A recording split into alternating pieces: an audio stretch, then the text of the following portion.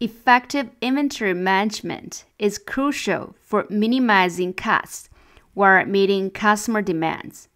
Let's explore the inventory management process in SAP and its key functions. One of the primary functions is material stock management, which can be measured in two ways. First, the material stock is measured by quantity. At any time there is transaction in the system that affects the quantity of the stock, it updates the stock level. This includes warehouse stock, ordered but undelivered stock, and stock and inspection. SAP provides real time insights into material stock levels at any given time. Second, the material stock is measured on a value basis. Inventory transaction update the stock value, affecting cost accounting account assignments and general ledger account.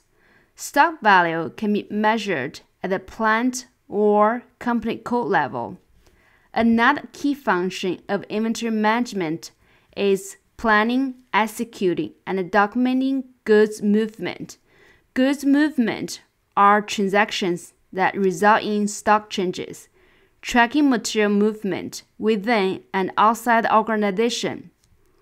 SAP offers various types of goods movements, and we will focus on three commonly used ones. Good receipt. This involves receiving purchased material from suppliers or internally produced items into stock. Good issue. It encompasses material movement to the production process or transfer of ownership to customer upon sale.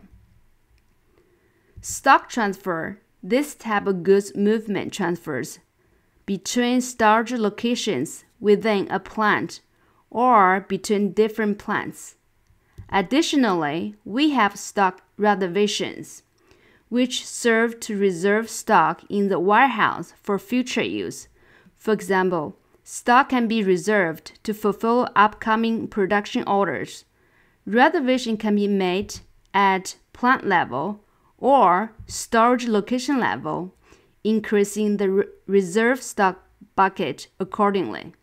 SAP inventory management capabilities facilitate accurate stock valuation and efficient stock movement and reservation.